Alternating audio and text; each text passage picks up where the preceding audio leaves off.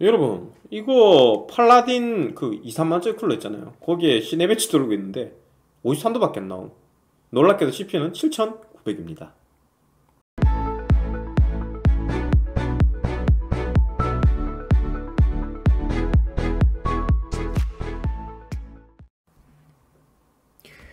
안녕하세요. 표 만든 남자 신성조 인사드립니다. 자 오늘 제가 준비한 건요. 썸네일에서 보셨지만 라파엘 리뷰입니다 여러분 이 라파엘 CPU 어떤 제품이라고 생각하세요? 음 제품은 그냥 뭐 쓸만한 것 같은데 인텔 대비 가성비가 없잖아요. 그래서 웬만하면 인텔 제품 씁니다. 라고 보통 생각할 겁니다. 어, 저도 똑같이 생각해요. 라파엘 처음 나왔을 때 가격이 꽤나 높았습니다. 5000 시리즈 때는 압도적으로 10세대보다 좋았기 때문에 가격을 높여도 잘 팔 수 있었지만 이 7000 시리즈는 솔직히 13세대랑 싸움을 붙었을 때 대체적으로 13세대가 가성비가 좋습니다. 그래서 안 팔렸던 거예요. 어? 송전님 그럼 그냥 가격 내리면 되잖아요. 맞아요. 근데 가격은 함부로 팍팍 내리면 안 됩니다. 이유가 있는데요. 일단 그렇게 쭉쭉 내려서 가격을 낮추면 다음 세대 내놓을 때 이 다음 세대도 비싸게 내놓기 좀 난감해집니다. 유저들은 연관해서 생각하기 때문이에요. 어, 두 번째 기존 유저 중에 뭐 AMD 팬분들은 이미 조금 비싼 가격으로 라파엘을 샀을 겁니다 근데 내가 사고 며칠 만에 하루아침에 가격이 10몇만 원, 20몇만 원이 빠졌다. 그러면 당연히 싫어할 거예요. 그래서 명분을 만들어야 돼요. 명분이 없다 아닙니까? 그 명분은 자 논 X 프로세서. 약간의 성능을 낮춘 프로세서를 확실하게 싼 가격에 내놓으면 되는 겁니다. 그래서 제가 오늘 컨텐츠는 이 제품의 가성비에 대해서 한번 집중해서 탐구할 예정입니다. 그러니 구독과 좋아요 눌러주시고 저와 함께 AMD의 새 CPU 논X 프로세서 라파엘을 한번 같이 보도록 하죠 일단 게이밍부터 한번 보겠습니다 게이밍 볼 때 인텔 빼놓고 하면 말이 안 되겠죠 그래서 기존 라파엘 X 제품군과 인텔 제품군을 같이 테스트해서 결과를 가져왔습니다. 세팅은 똑같아요. 그래픽 드라이버 527 버전이고 4080SG 똑같이 썼고 보드는 뭐 둘 다 그 AORUS Elite를 썼습니다. 그래서 거의 비슷한 등급으로 했습니다. 해상도 동일하고 메모리 clock이 다른데요. 이 메모리 clock이 왜 다르냐면 여러분 지금 이제 5600 JEDEC 표준 메모리가 나온 거 알죠? 요거 꽂았을 때 인텔은 13세대 기준으로는 5600이 그냥 적용이 됩니다. 근데 AMD는 JEDEC 표준 최대치 지원이 5200이기 때문에 요 400 낮게 지원이 돼요. 그래서 똑같은 메모리 overclock하지 않고 그냥 꽂았을 때 clock 기준으로 적은 겁니다. 어찌 보면 AMD한테는 살짝 페널티라고 볼 수도 있겠습니다. 근데 요 400 수치가 gaming 프레임으로는 한 1% 정도 차이 나기 때문에 여러분이 그거 환산해서 계산하시면 되고요. 대부분 유저는 overclock을 별도로 하지 않기 때문에 이 테스트로 하는 게 가장 베스트라고 생각해서 세팅을 이렇게 했다 생각해 주시면 될 것 같네요 우선 7900X와 7900을 같이 보자면 gaming 프레임은 거의 동일하게 나옵니다. 물론 뭐 2, 3프레임 차이 나는 구간이 있습니다. 뭐 1프레임 차이 날 때도 있고 그 롤만 조금 차이가 많이 나는데 얘가 clock 영향을 많이 받기 때문에 그렇고 나머지 게임은 그렇게 영향을 안 받거든요. 그래서 프레임은 얼마 차이가 안 나요. 최종 프레임 봤을 때 155대 154 156대 154 뭐 이 정도겠죠? 어 프레임은 2프레임밖에 차이 나지 않습니다. 거의 오차 범주에 가깝기 때문에 여러분 체감이 되지 않을 거예요. 10점 게임 평균을 봐도 그러니까 이 저사양 게임까지 다 포함시켜 봐도 3프레임밖에 차이 안 납니다. 3프레임도 차, 체 차이가 안 날 정도로 비슷하다는 얘기예요. 앞에 뒤에 평균 잡아봤을 때는. 그래서 여러분이 7900X나 7900은 그냥 동일한 게임 프레임 보이는 제품이라 보셔도 될 것 같네요. 7700X하고 7700은 좀 다를까요? 아닙니다. 얘들도 똑같아요. 얘들도 딱 보시면은 최종 프레임이 얘는 뭐 1프레임도 차이 안 나죠. 그냥 완전 동일한 제품에 가깝다 보시면 돼요. 말 그대로 같은 코어 개수 같은 캐시 용량 같은 구조 다 가지고 있고 clock만 살짝 낮춘 제품이기 때문에 gaming 프레임 같은 경우는 숫자가 같다면 뒤에 x가 붙던 안 붙던 별 차이가 없습니다. 7600도 마찬가지니 뭐 더 말해봤자 입만 아프겠죠 자 그렇다면 인텔하고 비교했을 때는 어떤데요? 인텔 i7은 압도적인 gaming 성능을 보여줍니다. 보시다시피 얘는 뭐 앞 단위가 달라요. 10단위가 160이죠. 뒤에 보면은 200대고요. 7900보다는 확연하게 높은 프레임 보여줍니다. 뭐 같은 인텔의 i5랑 비교했을 때도 확연하게 높은 프레임 보여줘요. 얘가 i9하고 비교해도 별 차이가 없거든요. 뭐 1% 1.5%밖에 차이 안 나기 때문에 i7은 최고급 gaming CPU 중에서는 당연히 비할 바가 없다고 보시면 돼요. i9 빼고는 여기 비할 바가 없어요. 그래서 독보적인 1위로 보시면 됩니다. 그러면은 뭐 7900X 누구하고 비슷한데요? 13600K하고 비슷해요. 13600K랑 같이 찍어서 보시면은 사팡에서 유독 이제 최소 프레임 이런 게 많이 차이 나서 그렇지 나머지는 조금 더 높거나 비슷하거든요. 그래서 최소 프레임 보면은 그냥 뭐 대동소이하고 평균 프레임 뭐다? 얼마 차이 안 나요. 뭐 한 1, 2, 많이 나면 3? 뭐 정도 차이라서. 그것도 10점 게임 평균 보면 그냥 똑같을 수도 있고. 이렇게 세 개는 사실 동급이라 봐도 무방합니다. 근데 가격이 70만원 정도 하는 7900X와 40만원 밖에 안 하는 13600K가 게임 프레임과 동등하면 게이밍용 7900X는 가성비가 없겠죠. 네 동감합니다. 가성비가 없어요. 물론 7900X를 게임만 하기 위해서 사는 것 자체가 돈 낭비입니다 게임만 한다면 다른 CPU를 보는 게 좋겠죠. 뭐 13600K 같은 거요. 자 그러면 그 밑에 7700X는 누구랑 경쟁 상대인데요? 원래 경쟁 상대는 요 i5급이 돼야 되는데 K 버전 14600K 버전 요거랑 비교했을 때는 살짝 처져요. 10종 게임 평균이 뭐 많이 차이 났는데 3프레임 정도 처지고요. 최소 프레임도 조금 처지죠. 한 7프레임 이 정도 처집니다 그래서 가격적으로 봤을 때는 서로 포지셔닝이 비슷한데 게이밍 성능만 봤을 때는 14600K가 좋습니다. 물론 그 13600K 말고 40만원대 제품이 아닌 30만원 정도 하는 13500이나 13400보다는 뭐 7700이 좋긴 합니다. 그냥 딱 봐도 좋아 보이죠.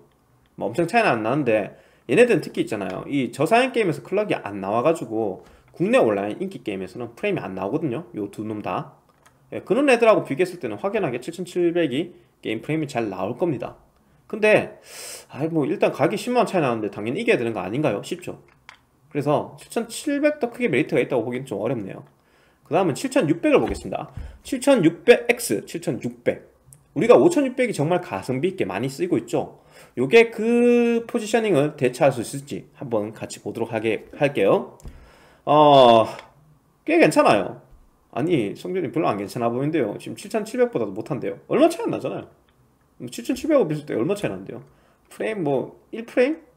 밑에 거 가봐야 뭐 한 6프레임? 7프레임? 이 정도밖에 차이 안 나죠. 사실 어, AMD는 있잖아요. 최상위 제품하고 최하위 제품 게임 프레임 차이가 별로 안 나요. 별로 안 납니다. 그래서 쭉 긁어서 보시면은 얘들, 얘들이 이제 가격이 비슷한 애들이겠죠. 13500, 13400, 13000 아, 600은 아니고 얘는 조금 더 비싸니까 12600K 이렇게까지 가격이 비슷한 애들인데 게임 성능도 비슷합니다. 고사양 게임으로 갔을 때는 진짜 흡사하고 저사양 게임이 포함이 된다면 이 7600 시리즈가 프레임이 더 잘 나옵니다. 그래서 어, 전세대 12세대 12세대랑 비했을 때는 7600이 좀 잘 나오고요 그리고 13세대랑 비교하더라도 13600K 진짜 레터레이크 기반의 L2 캐시가 많은 요 제품. 요 제품쯤 돼야 7600을 제낀다고 얘기할 수 있고 뭐 13400, 13500 그리고 K가 안 붙은 13600 요런 애들은 7600하고 뭐 또이또이 독인 객인 하거나 아니면 살짝 처집니다. 특히 13400은 좀 처지는 게 커요. 여기 189, 183인데 얘는 167이죠 좀 많이 처집니다. 최소 프레임도 좀 처지고요. 그래서 어, gaming 성능을 딱 봤을 때 13세대 non-K 프로세서랑 비슷한 수준이다. 혹은 조금 더 나은 제품이라 보시면 됩니다. 자 그럼 이제 가격이 중비, 중요하겠죠. 13400은 지금 현금가로 29만 정도 하고요. F버전 내장 그래픽 없는 게 26만 정도 합니다. 아, 참고로 7600에는 7600X 내장 그래픽 다 있기 때문에 일반 버전이랑 비교하면은 가격이 7600X는 35만원으로 다소 좀 비싸고요. 그리고 7600 normal은 28만원 정도 나올 거기 때문에 13400과 비교해도 전혀 밀리지 않는 가성비를 보여줄 겁니다. 13500, 400 뭐 이런 애들하고 비교했을 때 gaming으로 봤을 때는 좀 더 저렴하게 내장 그래픽도 있고 게임 성능도 좀 더 잘 나오고 구성할 수 있다는 얘기예요. 자 제가 이렇게 얘기하면 분명히 태클 넣은 사람 있어요. 보드 가격이 안 그런 거 아니에요? 하실 텐데 여러분 13,400, 13,500용으로 쓸 DDR5 B760이나 아니면 B660 제일 싼 거 얼만데요 지금? 뭐 걔들도 20만원 초반이에요. 22만원, 23만원 정도 하죠. 맞잖아요. 박격포 B660이나 아니면은 뭐 B760 M AORUS ELITE나 대충 그 정도 합니다. 그 쿨러도 어차피 2만 3만짜리 동등한 거 들어가야 돼요. 그거 생각했을 때는 보드랑 쿨러 똑같은 거 쓴다. 메모리도 같은 거 써야 된다. DDR5니까. 그러면은 가성비는 7600쪽이 gaming 가성비만 봤을 때는 더 좋겠죠. 거기에다가 이렇게 태클 가면 안 돼요. D4 보드 쓰면 되죠. 13세대는 D4 쓸 수 있잖아요. 이거 D4 쓰는 순간 평균 프레임 5% 6%까지입니다. 그러면 그냥 7600하고 비교했을 때 확 차이 나요. 여러분 4070ti 쓰든 4080 쓰든 뭐 5% 6% 이상 까지면 어떻게 될 것 같아요? 걔네 극화 전부 다 100만 넘는 극화죠.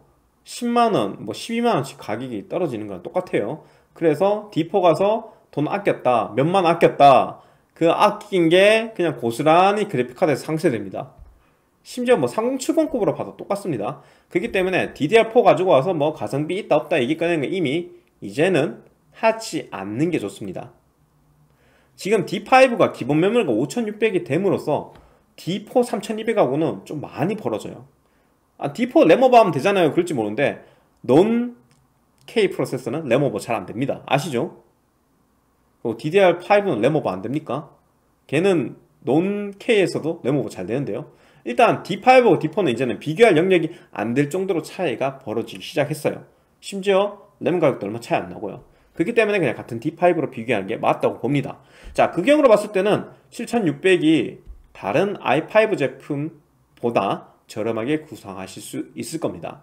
그나마 내장 급행 없는 13400F에 그 좀 저렴한 보드 D5 쓰고 그리고 이제 어뭐 2만원짜리 쿨러 달고 그러면 이제 슬슬 서로 비슷한 수준이 될 거예요 아니 근데 손절이 뭘 믿고 네가 지금 28만원 우기는 거예요? 아 제가 소스 들은 게 있는데 저 가격쯤에 나올 거예요. 그리고 지금 아마 제일 싼 그 B650 보드 이 7600용 그게 MSI B650 M-A인데 이게 22만 5천원 23만 사이거든요. 그거 딱 쓰면은 보드가는 딱 봐도 똑같고 쿨러 값도 똑같고 결국 CPU 가격만 계산하면 되는 겁니다. 자 그렇게 계산했을 때는 7600이 확실하게 gaming 메리트가 있다 그렇게 결론이 나요. 그걸 줄여서 얘기하면 이렇게 됩니다. gaming 성능은 i7이 독보적 그 밑에 13600K와 7900, 7900X가 비슷한 성능을 보여준다. 7700X나 7700은 non-K i5보다는 높은 게임 성능 가지고 있고 7600X, 7600이 뭐 13500 아니면은 12600K랑 비슷한 게임 프레임을 보여준다. 네. 아니면 조금 더 높거나. 그래서 어, 딱 봤을 때 지금 나왔는 것 중에서 뭐 7900이나 7700은 아직까지는 가성비가 좀 떨어질 것 같고 예상 가격을 적어서 넣어봐도 7600만큼은 새로운 가성비 게이밍 CPU로 사용할 수가 있을 것 같다라는 생각이에요. 특히 여러분이 4070ti 이제 많이 사잖아요. 고고 등급 혹은 아직까지 뭐 시중에 남아있는 그 3070이나 3060ti 쓸 때 저 7600은 괜찮은 조합이 될 것 같습니다 자 그러면 성조님 지금 gaming 프레임만 자꾸 얘기하는데 multi 성능 어떤데요? multi 성능 가성비도 좋아야 되잖아요 맞지? 어, 그래서 그것도 한번 테스트를 해봤습니다 자 multi 성능 이렇게 나옵니다 Cinebench 싱글 성능은 대부분 그 뭐 코어를 많이 안 쓰는 작업도 있죠 어, 어떤 게 있을까요? 한글? 아니면 코어 뭐 기껏해야 6개 쓰는 Lightroom이나 아니면 Photoshop 이런 거 그런 거 쓸 때는 요거 점수 위주로 보시면 되고요. 이 multi 성능은 렌더링 인코딩. 그러니까 여기 영상 편집하거나 음악 작곡을 하거나 아니면 원컴 방송하면서 게임을 하거나 그런 거 봤을 때는 요 multi 성능이 좋은 게 좋겠죠. 하여튼 그렇게 여러분이 요거를 어느 정도 작업의 지표로 삼을 수 있습니다. Cinebench 점수를요. 자 그렇게 계산을 해봤는데 좀 특이한 게 있어요. 일단 7900X하고 7900이 점수 차이가 얼마 안 납니다 얼마 안 나요 10% 차이가 안 납니다 그리고 7700X하고 7700도 10% 차이가 안 나고 7600X랑 7600도 10% 차이가 안 나요 그러니까 이거는 말 그대로 가격을 내릴 명분을 위해서 만들어진 라인업입니다. 기존 제품 X랑 거의 차이가 없어요. 아까 게이밍에서 차이가 없었는데 작업에서도 싱글 성능이든 멀티 성능이든 별반 차이가 없다는 걸 우리가 한눈에 볼 수 있었어요. 자, 그리고 더 멋진 거 하나 보여드릴게요. AMD가 진작에 이렇게 만들었어야 된다 생각합니다. 어, CPU 전력 소비량인데요. 일단 뭐 인텔 i7 많은 거는 여러분 다 알고 있으니까 넘어가고 7900X가 그 패키지 점수로 예, 위에 거랑 밑에 거랑 이제 동일하게 보시면 안 됩니다. 얘네는 하드웨어 info로 테스트한 거고요. 밑에 거는 뭘로 봤다? Ryzen Master로 봤기 때문에 어, 동일시하지 말고 일단 요거 어, 패키지 전력은 같은 회사끼리만 묶어 봅시다. 7900X가 141W를 썼는데 7900은 66W 씁니다. 절반밖에 안 써요. 그러니까 전력 소비라는 걸 절반을 잡았는데 어떻게 된다? 점수는 10%도 안 까진 거예요. 성능은. 자, 밑에 것도 한번 보겠습니다. 7700X가 104W 썼는데 7700은 70W 씁니다. 어, 위에 것처럼 뭐 절반으로 깎은 건 아니지만 이것도 꽤나 많이 까졌죠. 뭐 30% 정도 내렸는데 근데도 성능 차이는 5% 정도밖에 안 까졌습니다. 자, 7600선 7600은 뭐 10W니까 별 차이는 없어요. 별 차이 없는데 성능 한 6% 까졌네요. 이거는 별 의미가 없다 해봐야 되겠다. 전력 소비량 확인하기 뭐 줄어드는 그런 의미는 없겠습니다. 어, 그래서 제가 전선 비 교차를 계산해 봤는데 좀 많이 나요. 7900X와 7900의 전성비 격차는 1W당 얘는 200점밖에 힘을 못 낸다면 얘는 거의 400점 냅니다. 7700X와 7700은 190점 대 270점으로 이것도 꽤나 차이가 크죠. 뭐 7600X하고 7600은 비슷하긴 한데 그래도 어쨌든 normal 제품이 조금 더 전성비는 좋습니다. 자 그리고 제가 처음에 테스트를 5만짜리 뭐 AG620 이 제품 뭐 테스트를 했거든요. 트윈 타워형 이제 공랭 상급이죠.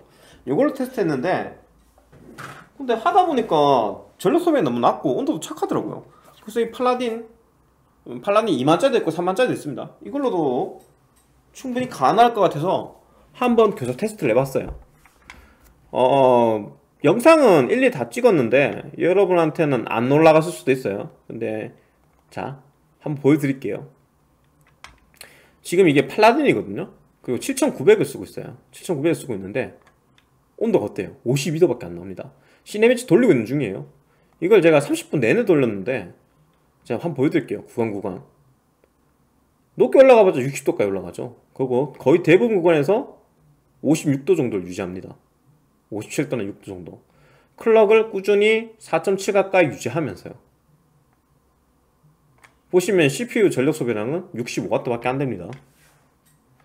그러니까 이렇게 많이 전력 소비량 깎아놨는데 성능이 저렇게 빵빵하게 잘 나온다는 얘기예요. 그리고 요런 2, 3만짜리 쿨러로도 알라인급이 커버가 됐다는 얘기입니다. 저도 합의보면서 좀 웃겼어요. 그래서 온도를 체크해보니까 7900인데 56도, 57도밖에 안 나옵니다. 그리고 밑에 애들이 오히려 더 높게 나옵니다. 송년이 왜 그런데요? 얘가 전력 소비는 적기 때문에 그런 거 치고는 차이가 너무 많이 나는 거 아니에요? 라고 하실 텐데 일단 근거는 보여줄게요. 제가 7600에 이 팔라딘 꽂고 돌렸을 때는 오히려 좀그 온도가 더 높아요. 얘는 거의 뭐 80도 가까이 나옵니다. 30분 내내 돌리면 전력 소비량 70이고 전력 소비량 4 늘어나는 거 치고는 너무 가혹한 거 아닌가요? 할까봐 제가 이론적으로 설명을 드릴게요. 어, 얘가 구조 때문에 그런데 일단 7900은요 중앙에 아이오다이가 있고 그 위에 작은 코어 두 개가 붙어있는 이런 스타일이에요 요 코어 하나당 CCD라고 부르거든요 구조 이 CCD 구조 하나당 6에서 어, 8코어가 들어가 있습니다 7900은 12코어 CPU이기 때문에 이거 하나에 6, 6이 들어가 있어요 66 66이 들어가 있고 실제로는 8개의 자리가 있는데 6개 코어만 활성화되어 있다 보시면 됩니다 밑에 거는 IO die니까 뭐 전력 소비량은 있긴 있는데 뭐 7와트, 8와트 밖에 안 써요. 무시해도 되는 거고요. 자, 그리고 7900이 아니라 여러분이 7700이나 7600을 샀다면 어떻게 되냐면은 어, CPU는 이제 똑같이 네모나게 생겼는데 안에 아이오다이 있는 것까지 똑같아요. 근데 이렇게 들어있어요. 하나는 비어 있습니다. 여기는 없고 여기만 딱 CCD가 하나 들어있습니다. 그래서 이게 6코어가 활성화되어 있으면은 7600이 될 거고 8코어가 활성화되어 있으면은 7700이 됩니다. 그게 뭔 얘긴데요? 이거 왜 설명 안 돼요? 자, 잘 들어봐요. 얘가 66W 썼죠. 66. 얘가 얘들이 뭐 여기 적혀있는 값바스는 70입니다. 똑같이 70에 70이에요. 맞죠? 그러면은 이게 두 개나 나눠져 있으면은 66일 때 어떻게 쓸 것 같아요? 여기 33, 여기 33 쓰겠죠. 맞죠? 어, 얘는요. 여기 하나에 70 쓰고 있을 거 아니야. 그러니까 당연히 당연히 얘네들 둘이 온도가 더 높게 나옵니다. 그 중에 6코어 쓰는 애가 더 높게 나와요. 이 7700보다. 왜 그러냐면은 코어별로 다르잖아요. 코어별로 만약에 얘가 8코어라 그러면은 8864 어뭐 8점 몇 와트 쓰겠죠? 8점 x 와트 쓸 거야. 8864니까. 근데 6와트면 어떻게 됐어요? 대충 뭐 12와트 가까이 쓰겠죠. 그러면 코어 하나당 쓰는 게 3, 4와트가 증가되죠.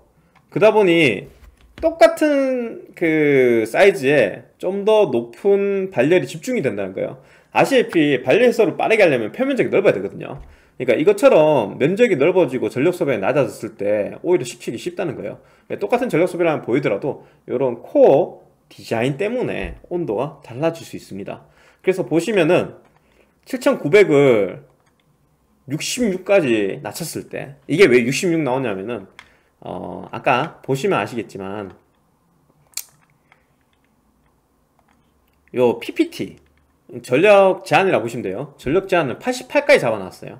88로 잡았을 때 SOC에 뭐 8, 9 정도 와트 쓰고 나머지는 이 CPU 코어 부분 파워에 들어가게 되는데 이거는 uncore 이게 코어 부분 에 들어가는 거거든요.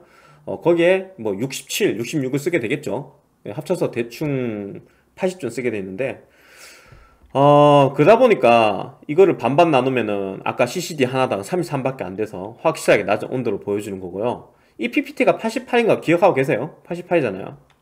7900에 88이었어요. 좀 더 크게 보여드릴게요. 다시 한번 7900 12코어에 88입니다. 근데 여러분이 PBO를 키지 않는다면은 이 7600에서도 똑같이 88입니다. 그리고 이걸 풀로 당겼어요. 그럼 얘는 6코 CCD 하나밖에 없는데 거기에 68에서 70 정도 와트를 그대로 고스란히 소비하게 되는 거죠. 얘는 SOC에서는 좀 적게 쓰네요. 하여튼 그렇기 때문에 이 7600의 온도가 더 높게 나오는 겁니다. 별로 어렵지 않죠? 아, 참고로 PPT, TDC, EDC에 대한 설명은 제가 영상 예전에 만들어 놓겠으니까 그거 참조하시면 저게 무슨 용어라는 걸 아실 수 있습니다. 여튼 결론은 덕분에 전성비가 정말 좋아졌고 쿨러 싼 거 써도 문제가 없다는 겁니다. 아까 그 뭐 5만원짜리 쿨러 썼을 때도 문제가 없는데 얘네들 30, 3만원짜리 쿨러 쓴다고 문제가 생기겠어요. 뭐 온도가 좀 올라갈 수는 있는데 그 문제가 없어요. 아, 결국 그 i7은 일단 수냉 쿨러 써야 되거든요. 여러분 전력 제한 해제 안 해도 13700K나 13700은 수냉을 써야 돼요. 그리고 7900X도 여러분 전력 제한 해제 안 해도 throttling 걸리기 때문에 수냉 써야 되거든요. 이거 3만원짜리 뭐 공랭은 택도 없습니다. 13600K도 수냉 쓰면 좋고 공랭 대장급 써야 됩니다.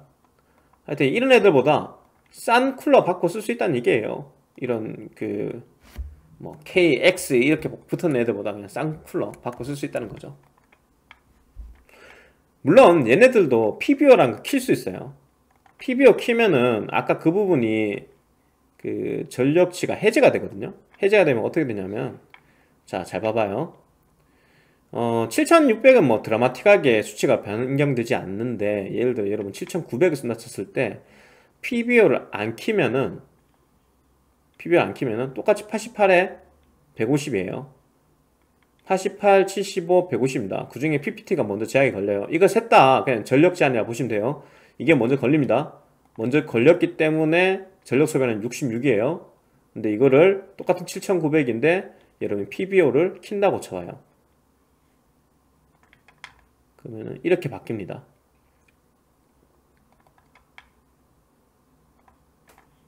어떻게 됐나요? PPT가 480까지 풀렸죠. 이게 아까는 88이었잖아요. 480까지 풀리면서 겨우 60W, 뭐 70W 내외로 쓰던 게 135W까지 두 배 가까이 전력 소비량이 증가했습니다. 뭐 EDC나 TDC 다 증가했죠. 그러니까 우리가 얘기하는 프리시즌 부스터 오버클럭킹은 어, 전력 제한 수치를 더 폭넓게 풀어주면서 온도가 허락하는 한 이 CPU의 수율이 여유되는 걸 땡겨 쓰는 거예요. 뭐 자동차 매핑하는 것처럼 좀 더 오버클럭해서 쓰게 된다는 거죠. 자동으로. 그래서 이런 식으로 전력 소비량도 증가하고 온도도 꽤나 증가합니다.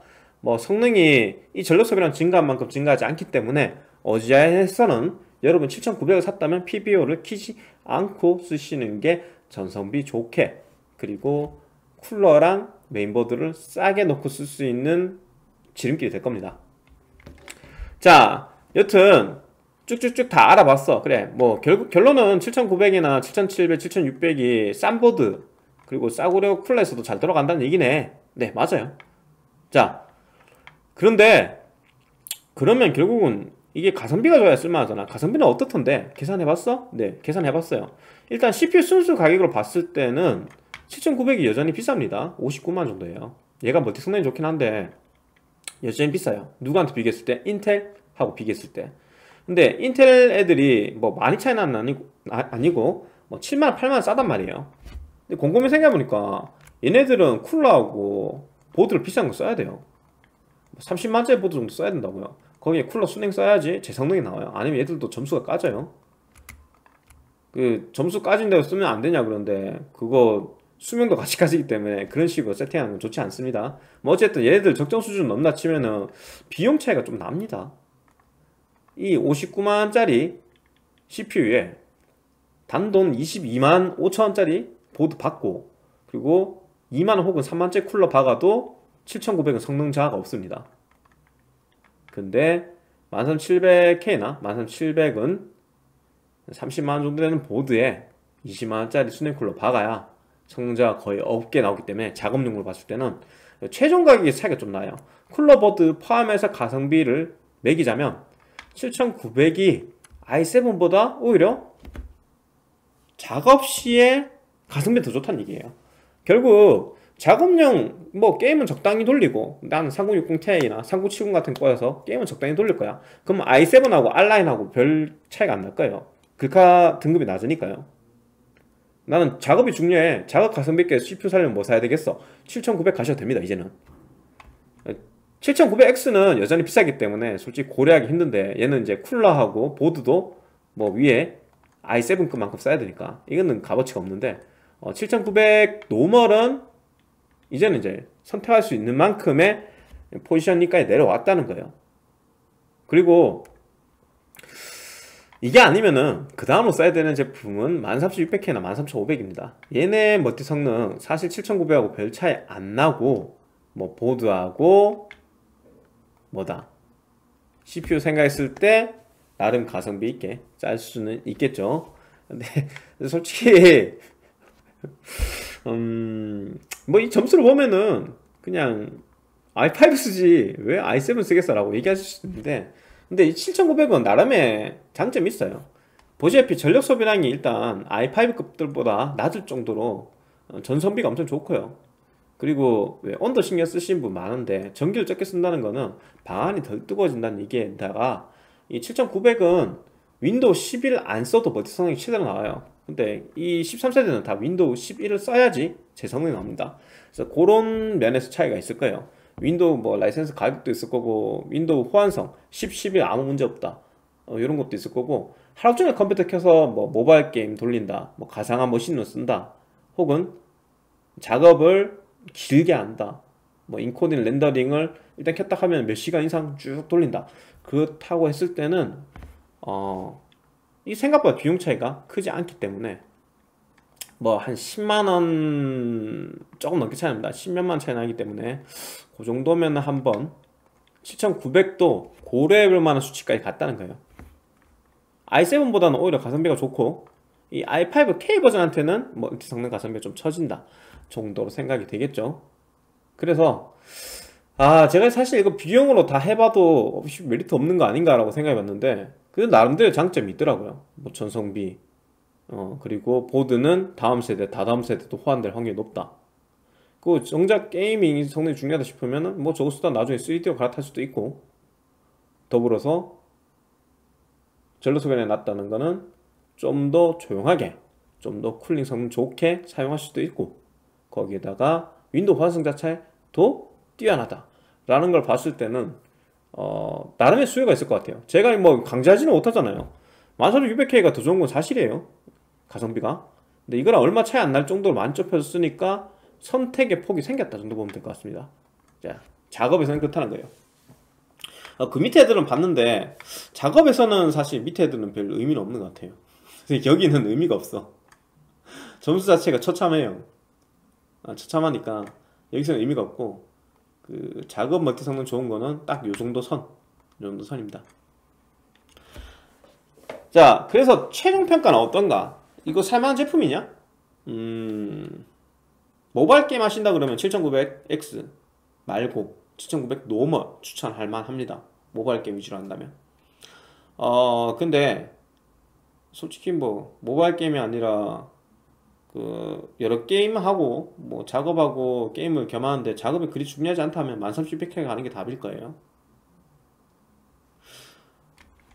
7600 노말은 그럼 어떤데요? 7600 노말은 그냥 갈만해요. 가성비가 괜찮습니다. 뭐 여기 있는 어떤 제품하고 비교해도 게이밍 가성비가 절대 처지지 않습니다. 7600만큼은 이제 미래도 볼 수 있기 때문에 보드만 좀 괜찮은 거 쓰시면 어, 한 번쯤 추천해 볼 만한 것 같아요 어, 물론 저도 월간 견적을 일단 짜봐야지 완벽하게 알 수 있기 때문에 조만간 CPU 가성비 비교표 올려드릴 테니까 그거 보고 좀 더 명확하게 어, 가성비 순위 한번 매겨보도록 하고요. 제가 보기엔 저가 한 4등쯤 돼 4등이면 괜찮아요. 제 이긴다는 게 12400이나 뭐 5600 정도밖에 없던 이거든. 음... 표가 안 나오더라도 한번 사보는 거 추천해볼 만한 것 같아요. 7600 normal의 경우는요 자 그렇게 어, AMD의 non-X 리뷰 마무리 짓겠습니다. 거의 30분 가까이 뭐 비슷한 얘기 자꾸 떠든 것 같은데 나름 중요한 내용 있었다고 생각해요. 내용이 길어서 좀 죄송스럽긴 한데 어, 여러분 모르는 거 아까 CCD 구조 이런 것도 배웠을 거고요. 어, 이 제품이 얼마만큼 그 가능성이 있고 어, 값어치 갖고 있는지 제대로 한번 하나하나 어, 뭐라 그러죠? 그거 보고. 글쩍글쩍 분석? 아 분석했다 하긴 너무 좀 과장했나? 근데 분석해서 보여드린 것 같습니다 도움이 되셨나요? 그렇다면 구독과 좋아요 한번 눌러주시고요 어, 다음번에는 그래픽카드 가성비 비교표로 만나 뵙겠습니다 오늘 영상 여기까지예요 여러분 바이바이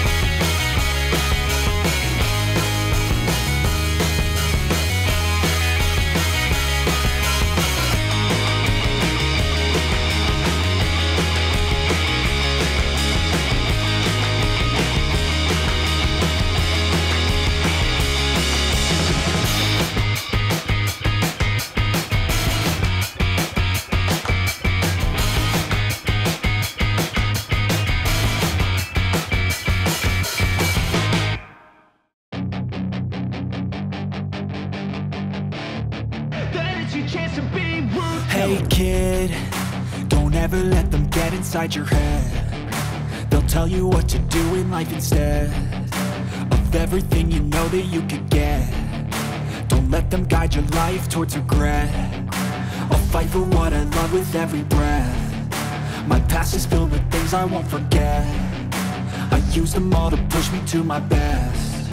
So treat the worst of times just like a test if only I could go back in time. I'd tell myself that everything will end up alright. Just push yourself, test yourself, figure out what you like And find your limits, don't be rigid, always work towards a prime. Surround yourself with open minds, people can change your life. A few friends with intent can help you feel alive. Find a passion, take some action, and with a little time Just be patient, make a statement, try to enjoy your life.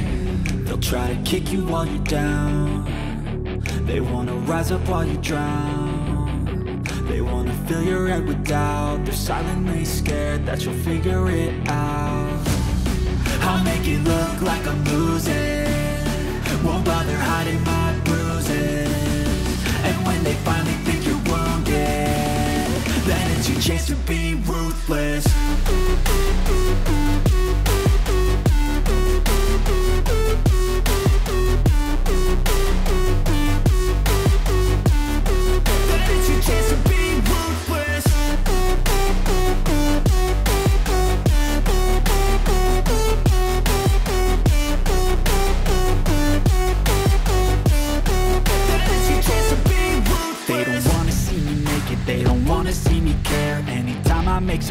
I can see that they compare. I think everyone's against me. Maybe something in the air. Am I paranoid? I swear a void is forming And they're scared. I walk a straight path Not many can say that. I like to play fast. Cross me and there's payback. You better pray that I don't see your face at Any place that I go. I know you hate that. I've been doing fine.